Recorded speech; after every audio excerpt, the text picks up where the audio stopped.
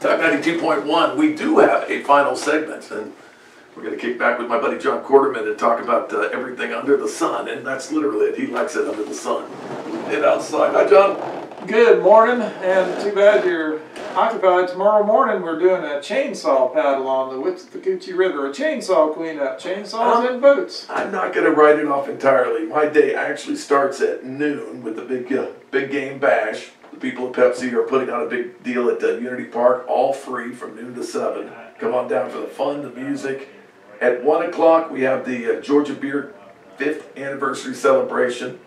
At uh, one as well, Fins and Feathers has their ribbon cutting at uh, that restaurant up by the mall.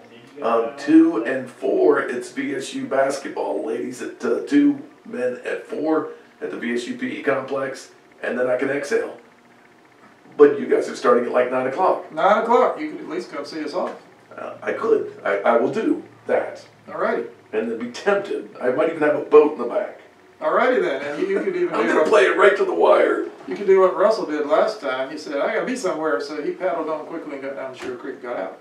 So I, I don't know if I can go that far, but I, I could even do some ground cleanup while I while we're all yapping. Well,